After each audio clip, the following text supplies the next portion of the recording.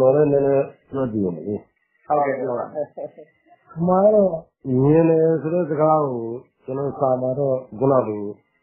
နည်းနည်းရှိတာပေါ့နော်မန္တမျက်စိကိုခုနကအာယတနာမျက်စိကိုပညာနာမျက်စိနဲ့ပတ်သက်တဲ့အာနာမျက်စိတွေဟုတ်အမှားတော့အမှားတော့ခွဲလိုက်လို့ရှိရင်ဒီအမေမွေးပေးတဲ့မျက်စိအစ်စ်နဲ့ကဘာမှာရှိတဲ့ပစ္စည်းကိုမြင်တယ်ဆိုတဲ့အတန်းစားတစ်ခုနောက်တစ်ခုကတော့အဲ့ဒီပစ္စည်းတွေကြုံလွန်ပြီးတော့ စိတ်ကူးနဲ့မှန်းဆပြီးတော့မြင်တဲ့ဘာသာရပ်ဆိုင်ရာအမြင်တစ်ခုပေါ့အဲအဲ့လိုမျိုးဟိုအကျဉ်းအချင်းနှစ်မျိုးရှိတယ်ပေါ့နော်ရှိတဲ့အခါကျတော့ဒီနေ့ဟိုကျွန်တော်ဗုဒ္ဓရဲ့ဟိုပါဠိကဘာကိုယူနှိုးနေတာလဲဆိုရင်ကျွန်တော်နားလည်ထားတာကတော့ဒီသူကသူ့ပါဠိကိုကလည်းပဲစက္ခုအပေါင်းကရဏီလို့ပြောထားတာဟုတ်စက္ခုမျက်စိအဲကရဏီအလုတ်မျက်စိအလုတ်ဆိုတော့ဒီမျက်စိအလုတ်ကလုတ်ကြည့်လိုက်တဲ့အခါကျတော့ ဒီမေမှုတွေရဲ့မျက်စိနဲ့မြင်တယ်ဆိုတာကိုပဲအိဗယ်အိဗယ်ကဟိုပေါ်လွင်နေတယ်လေပေါ်လွင်တဲ့အခါကျတော့အခုအဲ့ဒီမှာအခုလူတွေကရှုပ်သွားတာဘာရှုပ်သွားလဲဆိုတော့အဲ့မှာရှုပ်သွားတဲ့အဓိကတရားခံက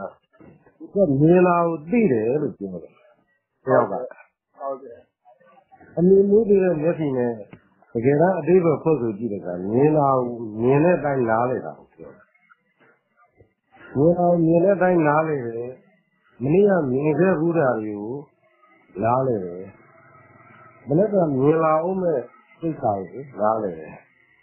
အဲ့ဒါအဲ့ဒါကိုကျွန်တော်တို့ကဉာဏ်နာလို့ခေါ်တာအဲမြင်လာကိုသိတယ်ဆိုတာကြတော့အဲ့လိုမဟုတ်ဘူးတခါလေးမှသတိလိုရပြီးမှထိုင်နေတယ်ပေါ့နောက်မှကိုယ်လာကိုလူတယောက်လာနေတယ်လို့ကျွန်တော်တို့ကသိလိုက်တယ်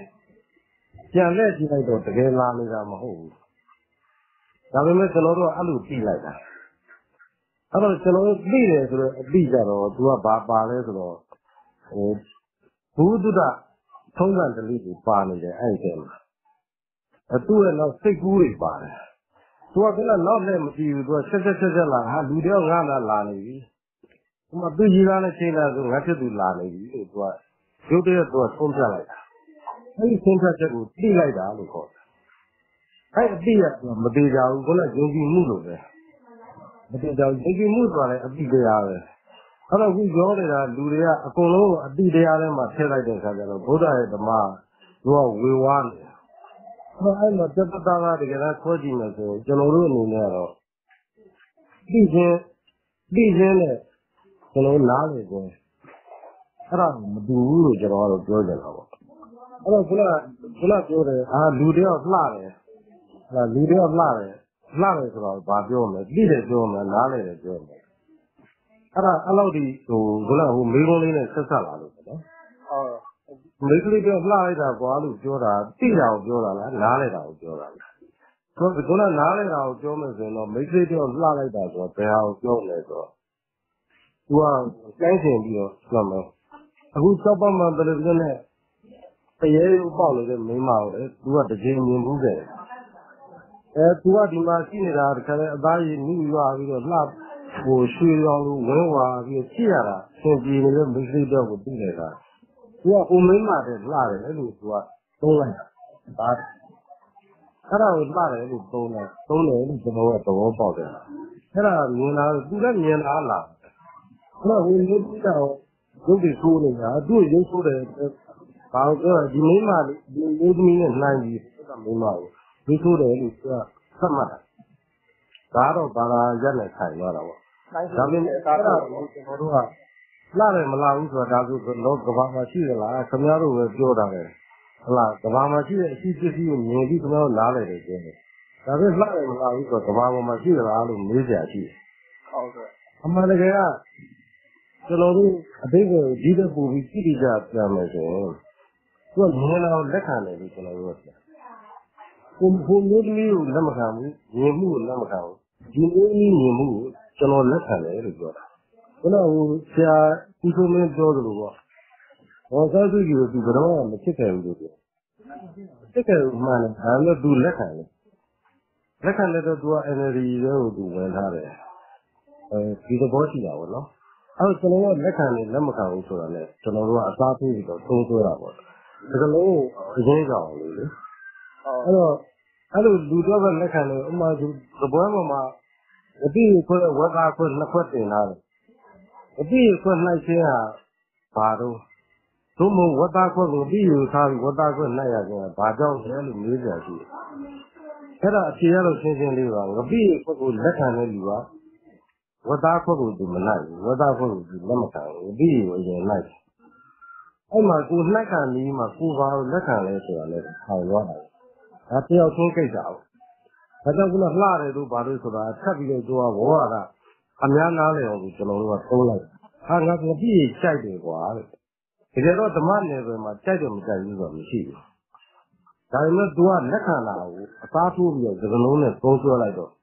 ငါတော့မပြည့်ကြိုက်လို့ကွာလို့သူကပြောလို့သူ့ဆိုင်ကိုပြည့်ကြိုက်လို့သူကအရင်ဆုံးလက်ကအဲ့လိုရောက်သွားတယ်ဝတ်သားခွက်ကိုနောက်မှရောက်သွားတယ်သူကဟိုလောက်အရင်လက်မခံဘူးလို့ပြောတာ အဲ့တော့ဒါအောင်ပဲကျွန်တော်တို့ကဝေါ်ရတာတွေနဲ့အစားထိုးသုံးဆွဲလာရင်လည်းဒီလိုဝေါ်ရတာတွေကများလာပြီးရှုပ်ထွေးလာတဲ့သဘောမျိုးပေါ့ဒါကိုဓမ္မသမားတယောက်ကအရိယာတယောက်ကဒါကိုရှင်းရှင်းလင်းလင်းအရင်အမြစ်ကြကြကျွန်တော်တို့ကလားလိုက်ထားမယ်ဆိုရင်အဲ့ဒါကိုသင်ရခြင်းလို့ခေါ်တာအဲ့ဒါကိုအရိယာလို့ခေါ်တယ်လို့ကျွန်တော်သဘောပေါက်တယ်အဲခုနဘာသာရပ်ဆိုင်ရာတွေမှာတော့ကျွန်တော် subject တွေရှိတယ်လေကမ္မစီတို့ ကဘာညာတွေပေါ့သိပ္ပံဥပဒဝီသမိုင်းဘာညာတွေပေါ့ဘောဂဖေကဒါတွေပုံမှာတော့ဒါဆိုရင်မသိရတော့ဘူးလားကျွန်တော်တို့ကဒါတွေကိုမသိဘူးရတော့လားမဟုတ်ဘူးဒါတွေအလုံးကဓမ္မနဲ့ဆိုင်ကျွန်တော်တို့မျက်မြင်ဒိဋ္ဌာဘောနေလာတာကြီးပဲအဲအခုဒီနေ့တောင်းရိုးဆုံးမှရေခဲတော်လေးရှိတယ်ဆိုတာကိုကျွန်တော်မေးလိုက်မင်းလက်ခံတယ်ကျွန်တော်လက်ခံအရင်ကတော့မဟုတ်ဘူးလေကျွန်တော်လက်ခံတာ အဲ့ဒါဘာကြောင့်လက်ခံလဲလို့မေးရင်ကျွန်တော်တို့လူလောကကြီးမှာအထင်လာရှိတယ်ဘာအထင်လာရှိလဲဆိုတော့တကယ်မြင်ခဲ့ကြားခဲ့တဲ့လူတွေကတကယ်ဝန်ဆက်သက်တယ်တကယ်စမ်းသပ်ခဲ့တဲ့တကယ်တက်တည်ကြပြီးသားအရာတွေကို